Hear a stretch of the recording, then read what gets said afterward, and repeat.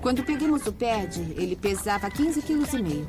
Nós não sabemos muita coisa sobre a história do Pad. Ele morava com uma idosa que o alimentava com restos de comida. Ela foi para um asilo e a família o deixou num abrigo porque não podia ficar com ele. Ele estava tão gordo que mal conseguia se mexer, nem conseguia ficar de pé sozinho. No começo, a perda de peso foi muito rápida, mas depois se estabilizou e simplesmente parou. O Ped é muito engraçado, ele tem muita personalidade e está acostumado a fazer o que quer. Sai! Vai, Ped!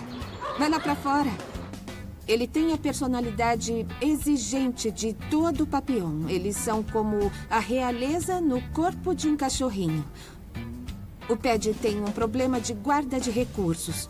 Qualquer coisa que ele conseguir tirar de alguém, ele pega pra ele e protege. Para que o Ped seja adotado, ele precisa atingir o peso ideal. Eu acho muito importante ele encontrar um lar definitivo porque ele é um cachorro muito legal. Eu sinto que ele precisa viver seus anos de ouro num bom lar, onde ele possa ter aventuras e atividades que ele queira fazer. O Ped encontrou alguns obstáculos que impedem a Olivia e a Emma de encontrarem um lar definitivo para ele. Olá! Olá! Se não fosse por pessoas como elas, esses animais teriam pouquíssimas chances de encontrar uma família permanente. Eles querem uma solução e é por isso que eu vim ajudar. Nossa, quantos cães! Eu sou o Travis. Oi, eu sou a E eu Olivia, sou a muito Emma. prazer. Olivia, Emma, muito prazer. E quem são esses aqui? Este é o Ped. E esse é o Bird. Ped e Bird e... Josie. Josie. E a Lily. E a Lily. Legal, vamos sentar. Eu quero muito ouvir essa história. Quando entrei na casa, minha primeira impressão foi: tem muitos cães, gêmeas. O que está acontecendo aqui? Como posso ajudá-las com o Ped? Bom, eu sou a cuidadora temporária do Ped e eu preciso que ele atinja o peso ideal. Quanto o Ped pesava quando você o pegou? 15 quilos e meio. Uau! É. Vocês estão fazendo um bom trabalho. Ele faz uma dieta controlada, mas chegou a um ponto em que a dieta já fez tudo o que podia. Qual é o seu objetivo para o Ped? O objetivo é ele conseguir um lar definitivo.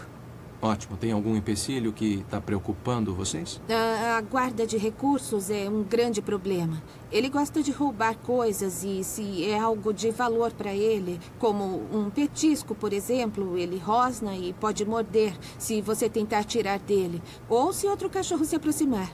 É, isso, isso é um problema. Vejo É. muito isso em cães resgatados. Vocês também devem ver. Pois é, ele não é o primeiro cão que eu abrigo com, com essa questão de possessividade, mas é o caso mais grave que eu já encontrei. Ele fica se coçando muito. Isso é... O Ped tem uma doença de pele no corpo todo que causa muita coceira. Se ele não estivesse com esse colar, ele arrancaria pedaços da pele.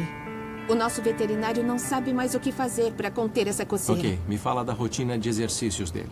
Ele faz uma caminhada de um quilômetro e meio todo dia, mas mais do que isso ele não aguenta. Ele obviamente é obeso há muito tempo. Ele tem problema de artrite? Ah, tem sim. Ele tem artrite no quadril, nos joelhos e também em um dos Bom, ombros. então isso é uma coisa que precisamos levar em consideração. Legal, eu acho que eu já tenho uma boa ideia da situação do Pet. Eu creio que podemos ajudá-lo a entrar em forma e a conseguir um lar bem bacana. É bem comum cães resgatados terem problemas com a possessividade.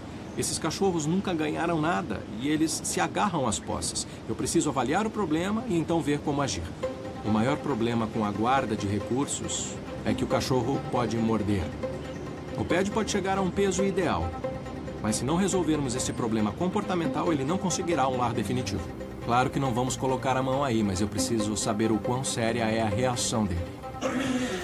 Opa. Vocês não estavam brincando, né? Não. É um problema. Sem dúvida. Uou. Vou ser sincero com vocês. Nós podemos fazê-lo perder peso, mas se não resolvermos esse problema, eu não daria para uma família. Vocês dariam? De jeito nenhum. Descobrir que o PED tem um problema de guarda de recursos é um alerta sério. Principalmente se ele for para uma família com crianças. A criança pode derrubar um objeto e, quando for pegar, vai levar uma mordida. Mas a Olivia e a Emma podem solucionar isso com o trabalho. O que nós precisamos fazer é usar um objeto que sabemos que o PED vai permitir que vocês troquem. Aí, vamos trocar com ele por alguma coisa de maior valor. Por exemplo, temos aqui esta bola. O PED está condicionado a reagir se vocês tentam pegar alguma coisa dele.